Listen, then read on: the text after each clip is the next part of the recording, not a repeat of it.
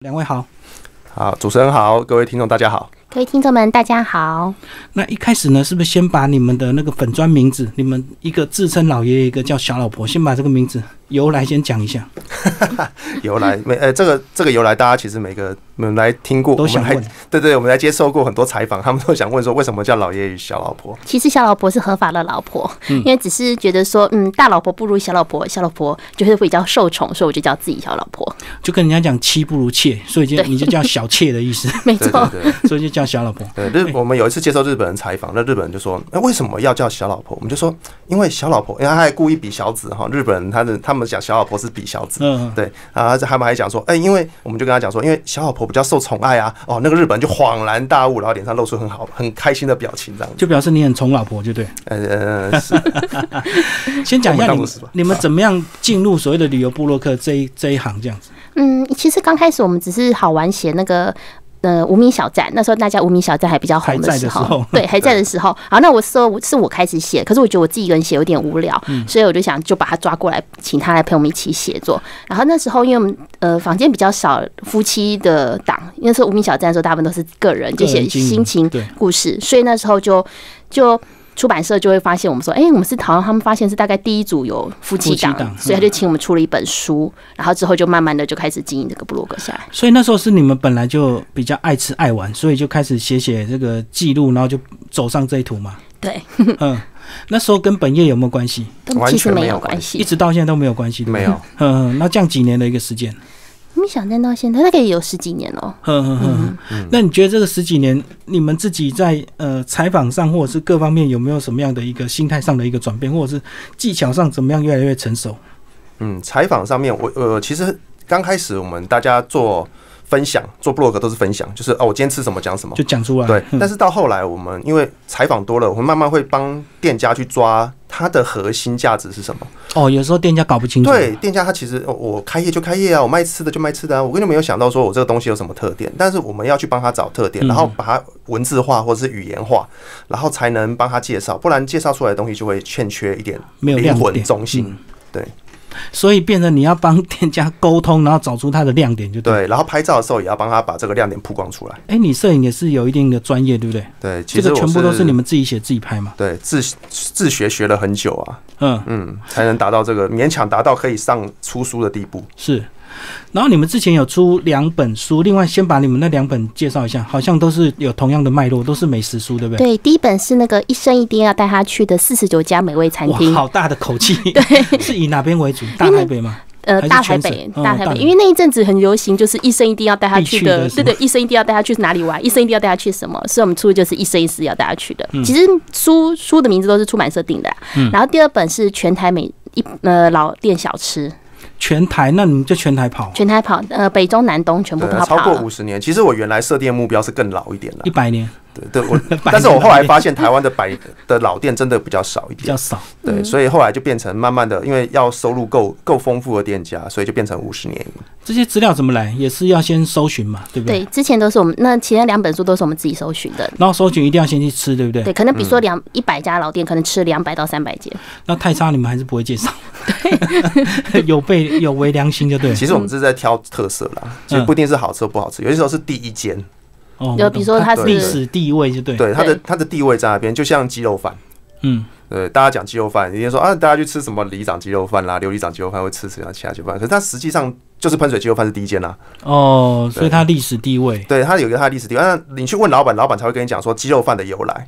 你去问其他店，他们只是模仿喷水鸡肉饭，嗯，对他们，你你问他，他讲不出由来，那所以没办法，还是只能采采访喷水鸡肉饭，不管它是不是最好吃的。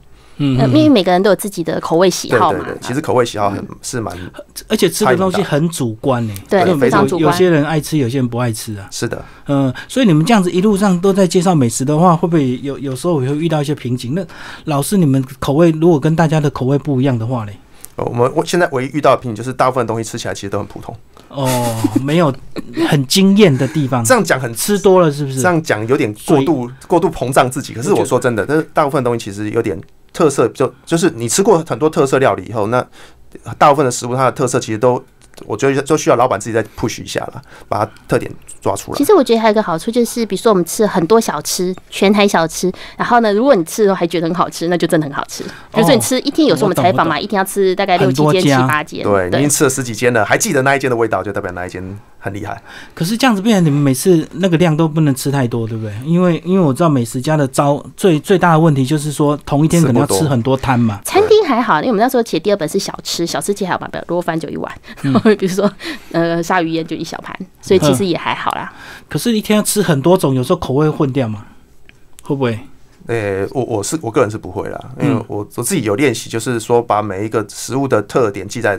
脑中那样子回去再把它回想出来，嗯，所以其实也是要训练的，对不对？对对对，我我觉得这有一点点，有一点点是自己强迫自己去把味道记起来，这这个感觉是其实跟很多工作是不太一样的。其实写久了以后就会记起来，刚开始写的时候，我们去餐厅就是一边吃然后一边记录，一边记对，然后后来就是边吃开始录音这样子。哦，我懂了，对，就自己讲自己录音。呃，有的时候那个餐厅的那个服务生会过来开始介绍这个道菜有什么嘛，然后就要录起来，然后自己再讲味道。嗯嗯嗯。那可久了以后就大概就知道那个重。点在哪？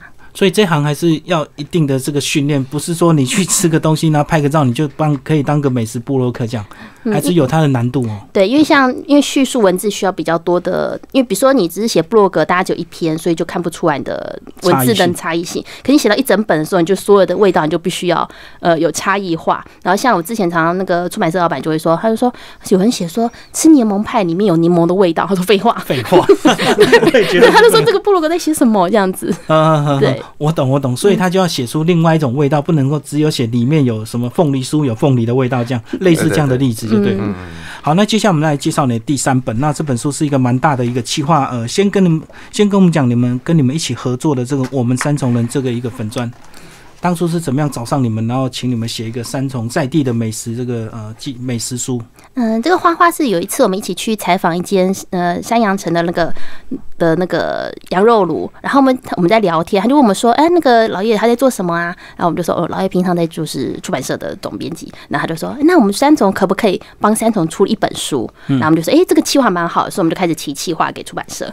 然后出版社也觉得：“哎，这个蛮好玩的，就是可以帮三重这么小一个地方，然后出，而且三重它的是。”对，因为其实三重它是一个，就我我们住，因为我住在我们住在就住在台北嘛，我们对于三重其实会有一个莫名的感觉，是啊，沙点波啦，对对，落后的地方，不是说落后，就是说那边的人可能人那个比较杂一点的哈，就是你不会说都是文教区或什么，它是就是全台湾各地来打拼的人，可能都优先住在大龙洞或三重，因为房价比较低嘛，所以它自然就聚集一群劳工朋友这样子。是，但是这样的聚集效应就会产生另外一个。就是另外一种激荡，就是那边的美食会特别的丰富。嗯，对，就是因为我在我常常去三，我呃年轻的时候常常去三重，我在那边吃东西，我也知道说那边的状况，所以接到这个案子的时候，我其实心里非常开心，因为哦，原来我可以去把三重的东西好好介绍一遍，这是一个非常令人兴奋的事情。嗯嗯，而且呢，这本书的一个特色呢，就是以捷运站周边为主，大概几百公尺以内，是不是捷运站都走得到这样？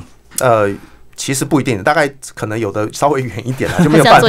对，但是大部分的 大部分的都是在都是你走十分钟以内，对外就可以到。嗯哼哼。所以这些商家也是你们讨论过，然后你们也是要真的去试吃。对对。然后。呃，一边找跟老板那个访谈，然后拍照，然后再找出它的亮点，就对。对，其实这些店里面，它我们吃超过这个这个店家数很多哈，但是在我们现在也是筛选过，剩下五十间这样子，所以吃的更多。嗯嗯，吃的是更多的，其实吃起来有点辛苦啊，有些时候一天吃三四家，其实蛮累。我们有时候从早上九点开始，然后拍，然后拍到晚上十二点，因为有的是那个，比如说他是飞镖吧，然后对，飞镖吧是经营凌晨的，嗯嗯，对。可是你们两个都有正职啊，那你们怎么吃啊？都是利用假日嘛？对，就礼拜六、礼拜天的。嗯，我那吃的更密集啊。对，吃的密集，一天不能从早吃到晚。嗯，所以你们整个这个呃采访期间多长？大概差不多半年，半年的时间。哦，就每个假日几乎都要排班表去吃。对，然后还要找时间写整理照片，这样子，这样搞了差不多半年左右。嗯哼，因为我们拍的时候不是不是拿一张相相机就直接这样拍，或者手机，所以我们都也是要打灯的。对，哦，我懂，我懂。然后像比如说我们去拍，嗯，比如说那个盐酥鸡，因为如果你只是拍盐酥鸡，这样就。不美味，嗯，所以我们还是要铺布啊，然后拍拍盘子啊，什么把它弄好，有点像工商摄影，对对？还要陈设一下，上商业摄影。那有，其实我觉得有一个有一个点，其实蛮有趣的，我时候大概讲一下，就是我有一次去拍一个烤肉饭店，那个烤肉饭店呢，就是前面一个小摊贩。然后后面就是乱七八糟，就是食材啦、桌子、我懂我懂，因为他小吃嘛。对，但是我们就必须在那个仓库里面把这个东西拍出来。嗯，所以你就准备了桌布，准备打了灯。哦，我懂。对，然后看到这个。对，然后把食材做很好的盛，因为老板也不一定知道怎么样盛盘比较漂亮，那我们还帮他摆盘这样子，终于好不容易就变出。所以这样子是便当店哦，我们把它拍成这样。对，就是一个很普通的便当店。嗯，就是你们要去陈设一个角落去拍出那个美食，就对。对对。那个是一般老板都不会注意的，因为他们就可能就急着。这个做东西卖东西做东西卖东西嘛，老板也不会想说有网红就或者是有布洛克要来采访的时候，他们要怎么样表现出他的食物？他就是啊，我就便当给你啦。嗯，那呃，除了这个介绍美食之外，当然跟老板的故事也很重要。那你们采访这么多店家的老板，你们呃会比较在意的一些核心问题，大概有哪一些？呃，就最重要的是呃，其实我刚刚有提提到，就是我们这样的东西，就是如何把。店家的重点拿出来，因为大部分的老板就是说，哦，我开店，我卖东西。他虽然很注重食材，他很注重呃食物的味道，他很注重那个呃料理的过程，但是他自己并不知道他自己东西跟别人的差异是什么，所以才需要我们来帮忙。因为我们吃了那么多店家，我们知道每个店家的差异是什么。对对，像是料理手法，呃一一块一块猪脚，它可以卤，可以炸，可以煎，然后卤还有加糖不加糖，加呃加香香料不加香料，加汉药不加汉药，这种很多很多种做法的差异性在哪里？老板。通常不会知道，他只觉得哦，你走后家，他就这样做了。嗯嗯，对。那我们就是再从差异性里面去找出它的特点，或者是有一些老板他可能是传承，或者是跟着的父母亲去学的，所以他也不知所以然，他也不晓得说这个东西为什么一定要加这个。嗯，或者是说像他比较在意就是这些。东西，然后我就是有时候会跟老板聊天的时候，会发现他们一些故事，虽然跟那个食物一点关系都没有。比如说像这本这个《暹罗厨房》子，然后我们那时候聊才知道他是那个孤军的后裔，就是滇缅滇缅的彝族，就对，对，什么雅西亚孤儿那类的。对，然后我们才特别去问他说他是怎么样到台湾来的？那在台湾怎么样就就变成踏上了拿到身份证的路？然后为什么他的食物这么的有特色？他就跟我们台湾一般的泰式料理餐厅完全不同。对对对对，非常应应该说应该讲说很有特色的好吃。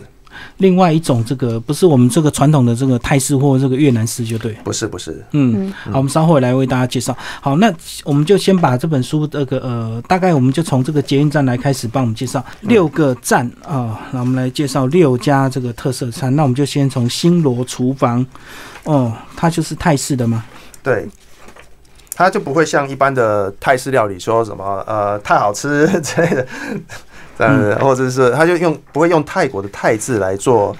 对，店家的点名以泰为这个开始，对对对，嗯嗯，这这其实我觉得这样的点命名方式其实有点好笑，就像是我们在国外吃中国餐厅叫做好吃中国餐厅，或者是说叫做美味中国餐厅那样的感觉。那他当然他是泰国人，他说他当然不会就是用这种方式来取名字。对，嗯，他就所以他就说哦，那我是暹罗。他会介绍一个就是平常我们在泰国餐厅不会吃到的女婿蛋。对对对，对他说一般餐厅吃不到。他说因为那个是以前有有那种故事。他说以前比如说有个丈母娘，然后那女女儿嫁出去了，然后要端端东西端菜给那个女婿吃，然后女婿就希望女婿对他的女儿好一点，就是要巴结女婿就对对对，所以叫女婿蛋这样子。嗯。哼，所以是特别的好吃啊，希望他好好照顾他女儿。对，然后他有一些他他他他自己用的食材也很特殊，他都是用进口从泰国来的食物，嗯，比如说像茄子，他就不用台湾的茄子，他就用泰国进口的茄子，嗯，那至于像是一些香料啊、辣椒啊，那他都是用泰国进口的，嗯，然后大家也都知道吧，就是泰式料理其实是没有月月亮虾饼啊，为什么？可是我们到 泰泰国料理都吃得到月亮虾饼。他说：“月亮虾饼其实是台湾人发明的，台湾人发明哦，加进去的。对，泰国没有。但是我们这位这个他当然也会做啦。对，他就是说，为了因为大家都来点泰式料理，然后呃都来点月亮虾饼，然后来这边还没有月亮虾饼可以点，客人还会生气，所以他还是自己想办法去学了月亮虾饼这样子。那你刚刚有讲他这个是这个滇缅的后裔，那当当初是怎么样来到台湾？”哦，他当初也是哦，他是拿着别人的身份来台湾念书，就当时就没有身份证，因为他们当时没有护照，对，就就无国籍嘛，对他没有国籍，所以他们就是拿着别人的身份，然后到台湾来念书。其实这个过程是，我觉得我觉得是很坎坷啦，因为你用着别人的名字来。别的国家，然后就是为了寻求一个温饱，或者寻求一个学，呃，来进来做一些呃未来替未来自己的未来着想，这是一个很悲伤的事情。嗯，那所以我们当时在采访的时候，其实我们可以感觉出来，他对在在讲主厨在讲这件事情的时候，他有一点点难过。嗯，那他后来他就拿到学历以后，他就回泰国去学菜、学料理。但是他中间如何拿到身份证，其实他还有很多故事。比如说，他去跟着跟着一群孤滇缅后裔的孤军去去总统府前面游行 抗议，说哦，为什么不可以给我们身份证这样之类的？对它其实有一个很时代性的故事。嗯嗯嗯。好，然后呃，这一家你们有推荐了几道菜来帮我们介绍绿咖喱鸡的哈？啊，绿咖喱到底跟一般的咖喱到底有什么差别啊？绿咖喱它其实是就是用的是绿辣椒，嗯嗯，红咖喱它用的是红辣椒跟姜黄多一点，那绿咖喱用的是绿辣椒多一点，说会更辣还是怎么样？是更辣，其实是更辣，更刺激。嗯嗯嗯嗯，下一站，A 师傅烤肉饭。这个就是你们讲的这个厨房很乱，然后被你们这个美化。老板会不会揍我们？厨房老老板可能会揍我们，可是他就是这样子一个很神奇的地方。像是附近，呃，其实我讲这个烤肉饭哈，有一个很好玩的地方，像是附近，呃，它是一个老街，老街里面你也你想吃烤肉你也吃不到。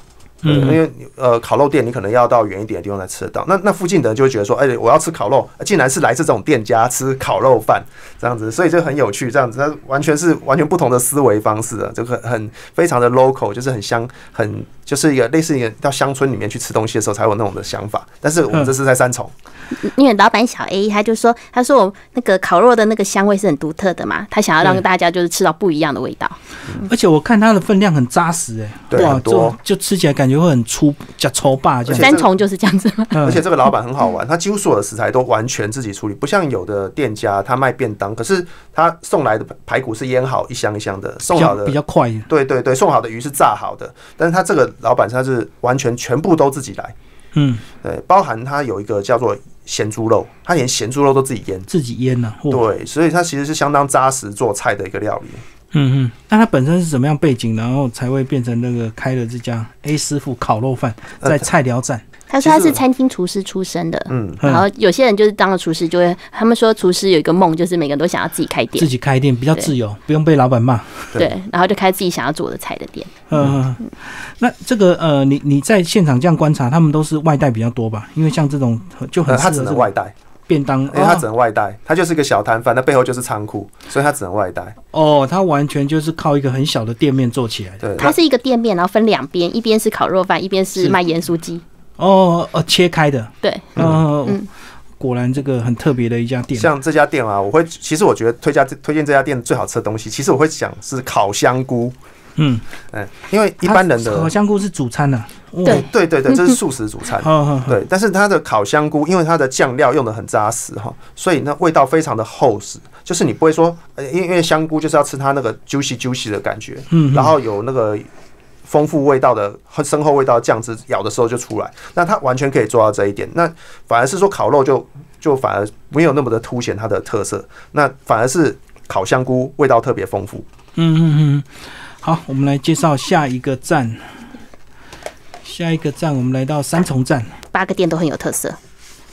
对，其实我们要介绍这样，其实很难很难去说选择说我们要介绍哪家店，因为每家店其实都很有特色。比如说，我大概讲一下，等等你们来找最好的店的时候，比如说像那个彼得潘的面包店，我觉得它就是很特别的一个，就是它非常的料那个面包的那个酵母跟人家不一样。然后或者是说，比如说 N 三七一八，然后它是那个很就是蚂蚁最喜欢的。他的所有都甜甜都超级甜，然后做自己做那个糖，对他们做的是焦糖，就是牛奶焦糖哇，然后都都都甜到一个不行了。然后比如说双爸私厨，他就是爸爸为了女儿开的一家店，私厨料理店。嗯，然后象洲咖啡就是他整个店咖啡厅非常有那个泰国呃，它其实泰式、粤式跟它是混合风格的，然后整个进去东南亚风格的这个一个地方，那个呃很适合拍完美风的照片。是是，来，我们来谈一下鲫月肉干，好了。鲫月肉干，那这典型就呃，这是一个很典型的，就是儿子在海外打拼，然后回来接自己自己家里对对家对接传承啦啊，传承自己父亲的事业。那这其实其实这个传承的故事蛮有趣，因为他这个这个故事的主人哈，他其实他去大陆，他是他不是做一般的工作，他是做珠宝业。嗯嗯，对，照照理讲应该是赚到盆满钵满。那为什么会回来接这个肉干产业？其实很简单，就是因为肉干产业其实是他自己最怀念的东西。嗯，肉干是他最怀念、最怀念的东西。他他用这个东西追到他的老婆。嗯，对，对，这样用这个味道去追他，因为他老婆就想说，哎，你家你身上都有那个肉的香味，就他们家炒那个香，因为很久以前哦，肉松是非常贵的食物哦，对，在三四呃四五十年前，肉松是非常贵的食物，是。后亚郎跟夹克还吃得谁吃得到的东西，所以他身上都是肉肉干的香味，肉是炒肉松的香味。对女生来讲，她觉得哎呀，为什么你添加你天上天天都有肉松的味道？对，所以这其实对她来讲，它是一个记忆深层的一一个一个像是印象，就是啊，其实肉松才是我的，才是我的家。做肉松做。做肉干才是我的家。其实现在现在年轻人就如果是乡下可能还有，可台北市可能没有什么看过烤肉松。现炒肉松。对，因为我们常常去，以前我们在市营夜市的时候还没有改改成那个的时候，然后是经过市营夜市，晚上大概一点的时候，他们那个肉松摊就会开始在那边炒肉松。对，他们会从凌晨一两点开始炒肉松，炒到凌晨五。那个味道走过去就忍不住去买一包这样。嗯，而且这个肉松肉干有时候好吃的是是一口接一口。嗯嗯，对，嗯。这，所以他们就是这个这个呃，爸爸传给儿子之后，所以他们又到三重呃找了这个店面再开张就对。对他现在做的主要是，他其实不是卖肉松，他主要是外销到那个大陆去。对，他的肉松都是做外销，他其实已经不在摆摊了。那你当然去现场你可以买得到。那其实我在里面最推荐的是这个高纤荞麦肉松。嗯，但是我们他就他自己为了要做这个肉松哈，大家都一般是加芝麻，可是加芝麻那个纤维质，他觉得。呃，不够健康，所以他就想说要试试看各式各样的东西。他那当他尝试过非常多的核果类加进肉松以后，他发现最适合的竟然是荞麦，就跟我们一般人完全想象不一样。谁会把荞麦丢进肉松里面？但是他就是这么做，因为他把几乎把市面上所有的核果类都丢进去试过了，就是为了营养，对对？有的会有，有的会把那个油味引发出来，就会你会觉得不好吃。那有的是说呃味道不够香，香到呃会被肉松的味道盖过，那也。那就没有意义，对，所以他最后就是在试过非常多种以后，他选择了荞麦，那就所以才发明出了这个荞麦肉松。其实我本人吃过是非常非常有特色的，就是你在吃饭吃饭的时候，一一边是肉松的那个香味啊，一边还有荞麦那个咔哧咔哧的口感，其实很有趣哦，很特别多重的一个口感。对对对，它的口感是很丰富的。嗯嗯嗯，好，那我们来介绍下一站，到了三重国小站，这家店其实很有趣，我们叫什么鱼？它其实我们说它是一间传统的店家也可以说它是一个新形态的下午茶店家也可以，因为它就是可是它卖的是石目鱼啊。嗯，先讲一下它为什么它它是卖的是石目鱼，它也是一个祖传事业，就是他们家都是杀鱼的，杀石目鱼的。那这个他们家开石目鱼店，对对对，杀石目鱼的。然后他像这个老板就是小小时候就在家里练习那个。杀如何杀丝木鱼，把丝木鱼那个刺剃掉，刺剃掉啦，或者是说如何切啦，这样他说他过了很多很多年才出师，他妈妈才认可他的技术。嗯嗯，所以这是也是一个呃从小，所以所以他应该说了，他自己会有对石木鱼这么热爱，也是因为从小到到大的关系。可是他不是我们想象中是，比如说父母的电脑，然后。然后接，然后不是他们父母的店还在三重开，一样是开就是老的石木鱼的批发，啊不是就石木鱼的店，然后就是也是卖另外开另外再开一间，他想要做一些创意料理这样子，用利用石木鱼就对，对，嗯，哦，原来我们以前吃的那种无刺石木鱼肚就是有人工去剃的，不是那个鱼就就是无刺的，对对对，它是用剃，它是用人工去剃刺，然后所以。剃的时候蛮麻烦的，因为上面一层肉都其实都不会会被会被拿掉，然后你还要记得那个刺的位置大概什么位置这样子。嗯 嗯，这是他们的他们厉害的地方。他有跟这个老板跟我大概讲一下，说怎么样剃丝木鱼刺。然后他居然把丝木鱼变成早午餐啊！有些人早 会有人早上吃丝木鱼，啊因为很好玩，他不是吃就不是丝木鱼粥啊，或者丝木鱼面啊，没有他他可是他是什么丝木鱼蛋饼、丝木鱼吐司之类的，蛮有趣的。所以他就把丝木鱼的那个肉。变成一个这个三明治的料理就对，对，可以转石鱼木鱼排。那他他会把石木鱼中的特别适合拿来做鱼鱼排蛋吐司的那一块，我切出来，因为它不是整片石木鱼放进去，让我们可能在乡下吃石木鱼，可能就整片煎啊，整片煮汤啊，没有，它是特别把每一鱼上面每一块肉质适合做不同料理的部分把它拆开来。哦，就跟那个一只牛很多部位不同的部位适合做什么？所以做搞缸的对对他们有一个背上的有一条特别细嫩的肉，就是拿来做那个鱼排蛋，而且觉得很高级，你不觉得吃虱目鱼蛋饼 超高级？那价位有没有更高一点？还是很还是很长？其实我是蛮，他我觉得蛮适合，就是我们一般人哈，比如说下午茶，你肚子有点饿，但是又没有那么饿的时候，去吃一下他的东西，然后就觉得说，哎，原来很多传统的食材，我们可以做一个新的变化，而且还是这么的好吃。它不会，它不会像主持人讲的特别贵啦，但是但也不是那种。我我懂我懂，因为毕竟有丝木鱼在里面嘛。对，嗯，好，所以我们刚刚介绍的是这个三重国小站。嗯哼，所以什么鱼，这个也是当初的郑成功那个传说嘛。郑成功说什么鱼就变丝木鱼，这样子。对对对对对对。好，我们来介绍下一站是到了三河国中站哦，里面也是一样八家店。对，我们要介绍饕客站。嗯。嗯。这个涛哥站其实它有一个很有很好玩的故事。那为什么会开这家店？它其实是呃有一群呃消防弟兄，嘿，啊消防弟兄他们呃通常在打火弟兄在完成一次一天的任务之后，他们会其实很辛苦啊，又很累，体力劳动很大，所以他们都很想要吃一些好吃的东西，可是又要有丰富，又要澎湃，然后又要新鲜，又要美味，大家一起吃合菜，对，然后又要是合菜，这其实这样子的条件在。台北或者在三重其实都很难找到，所以他们就是好啊，那我们就自己开一间，几个兄弟就开一间，不是是他们找一个一个厨师朋友，然后就开一间，是，所以就是几个人合伙这样子，然后找个厨师这样子，嗯嗯嗯，所以他们标榜就是新鲜的海鲜，然后丰富，然后那个味道是打火弟兄的味道。嗯，所以是打火弟兄料理。日本有相扑料理，台湾有打火弟兄料理。打火弟兄味道是什么味道？火烤的味道还是什么？但他们对味道的要求就是比较呃，其实说真的，比较稍微稍微重一点啦。嗯，因为他们劳动力可能比较大。哦，因为打火嘛，那个瞬间劳动量很大，所以一定要吃的很。呃呃，就要瞬间补充回来能量，对，要饱足感，又要有味道，这样子。其实这个要求还蛮。其实他们有些特色料理，比如说他们会有买那个台菜，就是那么以前我们小时候不是有那个螺肉，就是家里会有那个罐头，螺肉罐头。对，然后他们会做那个什么螺肉的那个蒜，螺肉蒜锅，类似那个北投的那个叫什么？他们是北酒家菜，对，它其实是北投酒家菜。然后他们也是把它呃。现在台湾应该是找不到几个地方可以吃了。经典鱿鱼螺肉涮锅就对。对，嗯对，但里面就会必须要有呃，其他节很很明显就是鱿鱼啊、螺肉，然后再加上金呃，再加上一个当时当地的蔬菜时蔬哈，然后呃，重点是那个罐头螺肉，其实台湾现在已经很难很难找到了。嗯，那如果说你现在要吃一个经典的呃北投的酒家酒家菜，那其实说真的很难找。那可以来三重的话，就是来这边试试看。然后品尝他们的经典那个菜菜色，就对，鱿鱼螺肉涮锅哈。对对对。好，那这一站你们还特别介绍那个飞镖霸，为什么 会冒出个飞镖霸在五十家美食里面？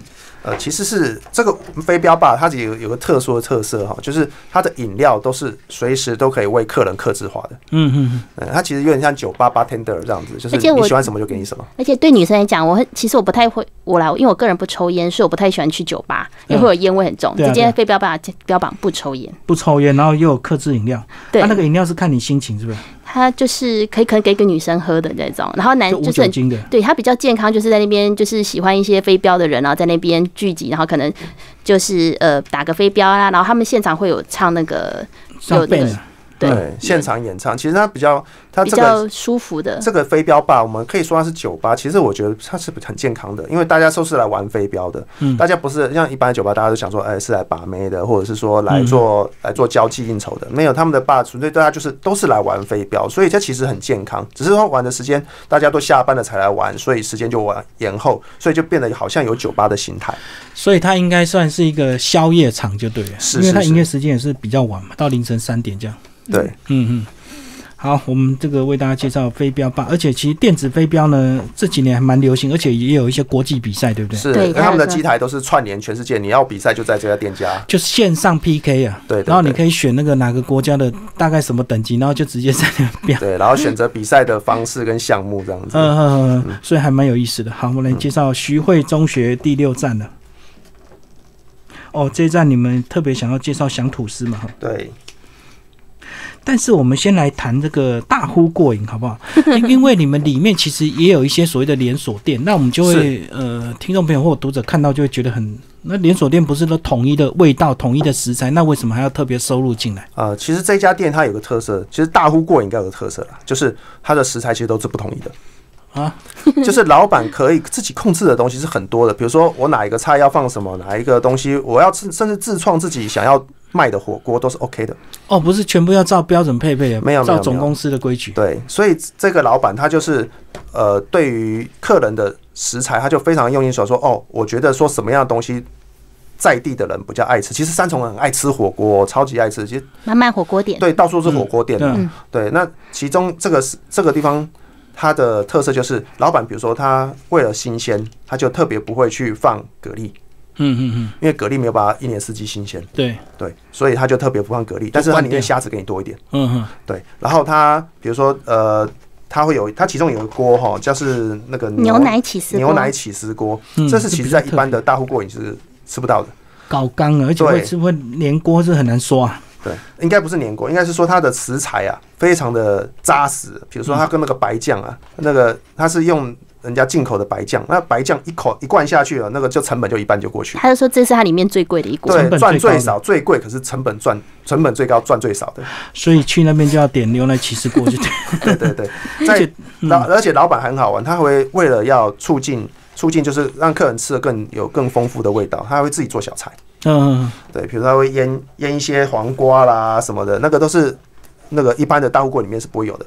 所以说，不是所谓的连锁店就是一样，就是一定是一样的口味。是的，你们包括里面有叫胖老爹炸鸡啊，它也是连锁店啊。我觉得哎奇怪，那为什么连锁店有偷偷透露一个消息？其实胖老爹每一家店的炸鸡是不同的啊，是这样的，不是总公司统一调度？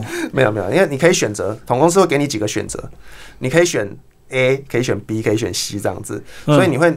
发现拿到的你在不同胖老爹吃到东西会不同，当然炸的时间不同，手法不同那是另外一回事。可是连食材它基本上都有一些基本上的不一样，而且胖老爹他有些时候他会多一些自己炸的东西，比如说炸地瓜。我懂，一般的胖老爹是不会卖炸地瓜，一般菜单没有的。对，但是这个老板他自己都会开创一些新菜单，他会根据三重在地人他爱吃什么。就给他加什么东西下去。那他们店内还有卖冰淇淋，这别人也没有。这个颠覆我们对传统连锁的一个印象哎。这其实我也觉得这是三重的特色，因为在他们在地的特色非常的明显，他们的喜好很不同，他们非常的社区性，所以他们为了要迎合这个社区性的发展，他们他会开创一些自己想要的卖的东西。嗯嗯嗯。好，那我们就来介绍响吐司。香吐司，我觉得就是女生很喜欢那个珍珠。珍珠奶茶米的珍珠去做创意料，对，做各种。然后他们那他们就是那时候做的那种，就是三三明治里面装包珍珠包珍珠，对，哦，还蛮好吃的。有呈现，然后一个爱心的珍珠这样，有这么搞，刚才要排一个爱心的形状。啊，这是这是我我老实讲，这是拍照，这是为了 这是我们家，这是为了示意出它。里面是珍珠，可是如果你摆一坨黑的珍珠，看起来又不怎么样，所以我就我就把它摆成了爱心的形状。嗯嗯，那吃起来是甜甜咸咸的吗？是甜的，甜的有点像是在面包里面加甜的馅料下去那种感觉。嗯嗯，它并不是咸的。但是我说的是这家店的特色，就是说，因为它除了说把各式各样呃你想象不到的东西夹进吐司里面，它其实有一个。就是老板，呃，应该不是说老板，她是一个姐妹经营的。嗯，这个姐妹她们为了说要打造一个她们自己小时候认为我想吃的早餐，哦，所以才开这家店。因为以前的早餐都是被爸妈掌控，所以他们长大就想要自由。对，我吃面包，我为什么不能？说我加别的东西，我只能加果酱。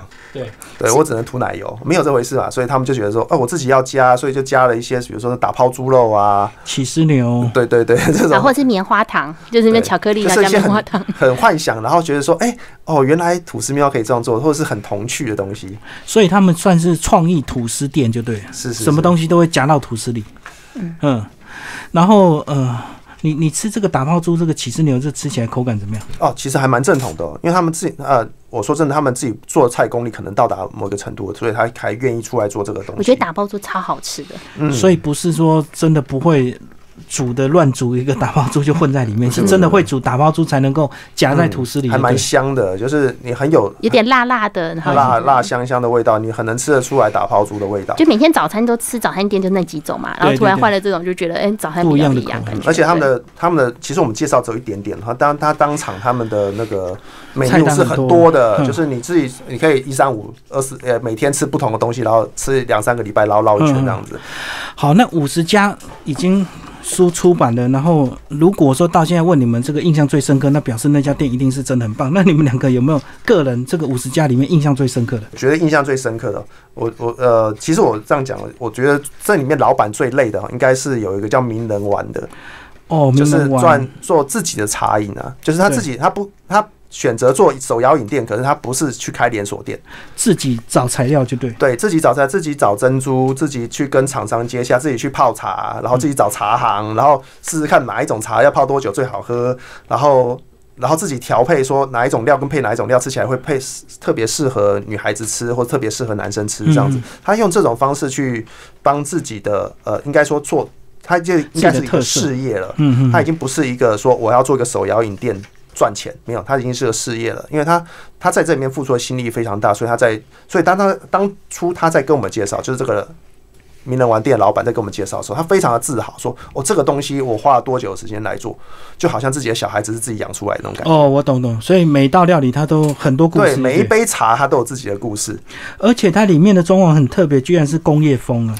对对，这个手摇饮很少人会花钱投资在装潢上，而且他们他们手摇就有门口，然后卖饮料，他们是后面有可以休息，不用钱，然后就可以在那边后面休息啊、聊天啊，做什么都可以。嗯，对啊，因为手摇饮一般就拎着就走了，都是做外带，很少人愿意花钱在自己的店里去做装潢。它而且它四面都不同装潢，所以可以在那边不停的拍照。嗯嗯嗯，它其实有点像王美风、王美强的感觉。那为什么他取这个名人玩呢？嗯，其实我当初也问他说为什么要取这个名字啊？他 他也是说这是因为他。他喜欢看日本的那个，他因为他也自己他自己是从那个时代出来，他喜欢日日本的动漫漫画，所以他受那个影响很深啊。然后所以才把这样的东西拿出来，来取这样的名字。好，OK，这个呃，里面也带到很多它的那个特色料理哦。看那个小芋圆就好想喝哦，哇，真的。对对对啊，他那个小芋圆，他的他连煮法都说啊，试了好多种煮法才能把它小芋圆，因为藕银煮久了哈，它就 rocky 啊，就烂了。时间点的问题。对，他就如何抓那个时间，如何抓甜度这样子，他老板都非常的用心。嗯嗯嗯，好。然后像我的话，我会喜欢那个雪花糖，因为我喜欢吃冰，就是夏天气热。对。然后呢，然后它的冰就这样子。各种这么扎实，而且这么可爱。对，就是因为对女生来讲很可爱。比如说像那什么海洋传说冰啊，或者是芒果物语。当他们做芒果冰的时候，就是吃芒果冰，它上面还做的像玫瑰花的造型。嗯，然后或者是说那个什么，比如说那个雪花糖二重奏冰，那就是那个大家最喜欢的那个龙赖里面的那个。所以它。的冰都有很多特殊造型，就对特殊造，而且他每一年就是常常会换，比如说呃足球就足球四足赛的时候，他就会做四足赛的冰，然后就是抹茶冰嘛，你绿色就知道那是抹茶。然后他有时候之前现在没有，之前还有做过什么，比如说日日本寿司的造型的冰，他各种造型，就是很多女生会去那边吃冰，然后很漂亮，然后可以拍照。哇，他的每个冰都有主题性，就对。对，而且这个他的冰就是很多媒体会去拍。因为就是很漂亮这样子。老板，呃，那老板为什么会会会会会开这家店呢？老板很玩，他是那个他原本是那叫什么？呃，他是汽车教练的教练，对，完全不搭，怎么跑到变？我们问他说：“你怎么会有这么多奇妙的想法？”他就说：“对，就是想一直想一直想，然后想说要什么样的东西可以让客人会感觉到说，哎，这是很特殊的新的玩意儿，这样子。”嗯嗯嗯。对，然后我呃，其实书里面有写啊，在。很好玩，这他对美术的接触是，呃，他在学校上美术课而已。哦，所以他没有美术底子，对不对？对他有美术底子，但是他的只有学校只有在学校课，对 对对。所以就自己后来发展出来，那他生意应该很好了，因为这种特色兵很容易在网络宣传嘛。对，所以呃，他其实，在三重是一个网红店家，就是非常多的网那个网络名人，或者是说写部落格的人都固定要去他店，因为他常常推新东西。哦，我懂，我懂，所以就会有人去抢先报，就对，然后就要去吃啊、品尝，然后拍照，赶快那个跟大家分享。嗯嗯，哦，真是太厉害，做冰能够卖到这个程度，这样子。嗯嗯。而且你不会想到说那个冰，比如说那个赖冰那个，你不会想到上面又会有爆米花。嗯，它上面就是上面，它用爆米花当做花园，然后有草莓。是是是，我看到还有熊大跟那个小白。为了让熊大跟兔兔有有那个花园的感觉，然后想呃做了很多种。设计，然后最后用爆米花来代替花园。爆米花也是花嘛？是是，爆米花也是花。好，那我们今天为大家介绍是三重新时代哦。然后这本书呢，呃，是三重的五十家好吃的店。那其实你们采访到现在，是不是也发现说，其实有一些每家店其实都应该有自己的特色，不是东西卖越多越好，对不对？因为有是的，有些老板如果生意不好，他就一直加营业项目。东西越卖越好，越卖越多，可是越卖越杂，搞到最后这个可能特色也消失了。这样，你看像那个冰店，它就只有卖冰而已嘛。嗯，像那有的凉面店嘛。哦，对，其实还有一个凉面店。对对对，它是主啊，虽然它的凉面种类非常多，但是它的凉面很有特色，因为它老板特别去特制面条，他不是一般的店家去买的，他特制面条来做他的凉面。啊，其实这个老板还很多故事，他很喜欢做公益活动。是，对，他的他的梦想是做全世界最好吃的凉面。所以他凉面是另外去沾那个酱吃的嘛，不是直接倒在里面混。我刚刚你可以你可以自己混了，但是它都是附酱附在外面。嗯嗯嗯，对对，凉面店这样子。嗯，所以它是用个竹篮子这样子装的。对。你你感觉它是日式风格，其实它很台，因为它里面有什么肉松啊、贡丸汤啊这样子。它其实卖凉面卖的很台式的凉面，它不是日式凉面，虽然它感觉很像日式的风格。嗯，所以每家店都有它自己的一个独特的一个风格，不一定要去学别人或抄袭别人哦。嗯哦嗯，好，今天谢谢两位为大家介绍这本书哦，谢谢。三重新时代，曲城文化出版，谢谢。